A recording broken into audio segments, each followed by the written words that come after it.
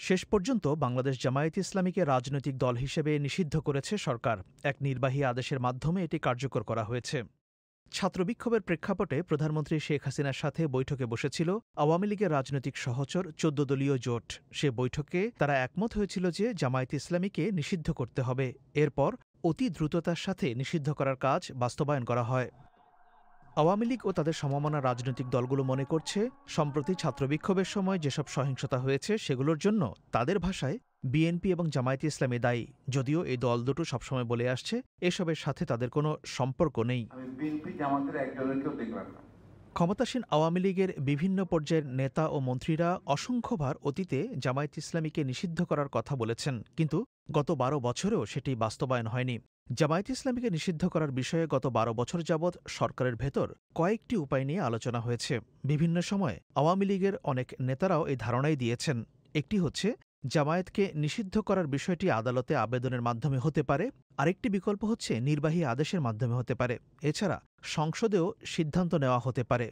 সবকটি বিকল্প বিবেচনা করেছিল ক্ষমতাসীনরা গত বারো বছর ধরে। কিন্তু এই ইস্যুতে কোনো অগ্রগতি হয়নি। আদালতের মাধ্যমে নিষিদ্ধ হতে হলে যুদ্ধাপরাধের দায়ে সংগঠন হিসেবে জামায়াতে ইসলামীর বিচার হতে হবে সেক্ষেত্রে আইন সংশোধনের প্রয়োজন। শেষ পর্যন্ত নির্বাহী আদেশের মাধ্যমে নিষিদ্ধ করার পথ বেছে নিয়েছে সরকার। কোন দলকে যখন নিষিদ্ধ করা হয় তখন সেটা নির্বাহী আদেশই হয়। নিষিদ্ধ করার একদিন আগে আইনমন্ত্রী আনিসুল হক বলেছিলেন যখন কোনো দলকে নিষিদ্ধ করা হয় তখন সেটি নির্বাহী আদেশে হয় বিচার বিভাগীয় আদেশে হয় না। তিনি মনে করেন, জামায়াত ইসলামীকে নিষিদ্ধ করা হলে দেশের আইনশৃঙ্খলা ও রাজনৈতিক পরিস্থিতির উন্নতি হবে। জামায়াত ইসলামের কেন্দ্রীয় নেতারা এখন হয়তো কারাগারে, নয়তো অনেকটা আত্মগোপনে রয়েছেন। বিষয়টি নিয়ে কথা বলার জন্য দলটির কোনো নেতাকে পাওয়া যায়নি। তবে জামায়াতে ইসলামের তরফ থেকে নিষিদ্ধ হবার দুদিন আগে একটি বিবৃতি দেওয়া হয়েছিল। সেই বিবৃতিতে বলা হয়েছিল, জামায়াতে ইসলামীকে নিষিদ্ধ করার বিষয়ে চোদ্দ দলীয় জোট কোনো সিদ্ধান্ত নিতে পারে না। সেখানে আরও উল্লেখ করা হয়, একটি রাজনৈতিক দল বা জোট অন্য একটি রাজনৈতিক দলের বিষয়ে কোনো সিদ্ধান্ত নিতে পারে না।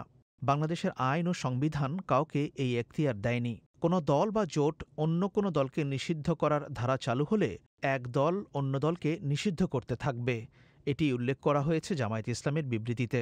তখন রাষ্ট্রের শৃঙ্খলা বলে কিছু থাকবে না বলে মনে করে জামায়াত ইসলামী। জামায়াত ইসলামী নিজেদের একটি গণতান্ত্রিক সংগঠন হিসেবে দাবি করে বলছে এ ধরনের নিষিদ্ধ করার বিষয়টি তাদের ভাষায় বেআইনি, এখতিয়ার বহির্ভূত ও সংবিধান পরিপন্থী। দলটি বলছে ছাত্র বিক্ষোভের প্রেক্ষাপটে সরকার নিজেদের ব্যর্থতা ঢাকার জন্য বিরোধী রাজনৈতিক দলের উপর দায় চাপাচ্ছে। রাষ্ট্রযন্ত্র ব্যবহার করে জামায়াত ও বিরোধী রাজনৈতিক দলের উপর দোষারোপ করে বক্তব্য দেওয়া হচ্ছে বলেও জামায়াত ইসলামীর বিবৃতিতে উল্লেখ করা হয়েছে।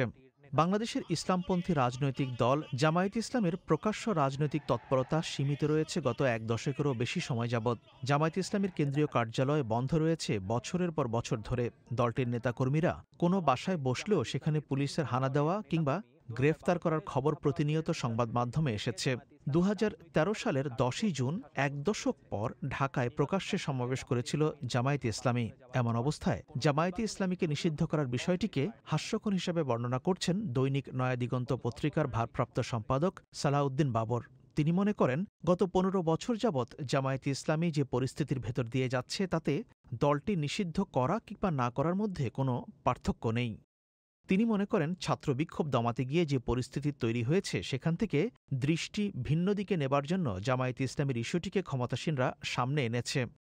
তবে নিষিদ্ধ করার পর একটি আইনগত ভিত্তি তৈরি হয় বলে উল্লেখ করছেন পর্যবেক্ষকরা। তখন কোনো ব্যক্তি জামায়াত ইসলামের পক্ষে ফেসবুক কিংবা অন্য কোনোভাবে প্রচারণা চালাতে পারবেন না। যদি প্রচারণা চালানো হয়, তখন তাকে আইনের আওতায় আনতে পারবে আইনশৃঙ্খলা রক্ষাকারী বাহিনী। এছাড়া, কোনো ব্যক্তি যদি জামায়াত ইসলামীকে আর্থিকভাবে সহায়তা করে, সেটি গোপনে হলেও তাকে আইনের আওতায় আনা যাবে। কারণ নিষিদ্ধ সংগঠনের পক্ষে প্রচারণা চালানো এবং তাদের আর্থিক সহায়তা করা দণ্ডনীয় হিসেবে বিবেচিত হবে। সুপ্রিম কোর্টের আইনজীবী মঞ্জিল মোর্শেদ বলছেন, কোনো সংগঠন নিষিদ্ধ হবার পর সেই সংগঠনের ব্যানারে কোনো সভা, সমাবেশ কিংবা অন্য কোনো ধরনের তৎপরতা চালানো যায় না। এ ধরনের কোনো রাজনৈতিক কর্মকাণ্ড চালাতে গেলে সরকার তাদের আইনের আওতায় আনতে পারবে বলে তিনি উল্লেখ করেন।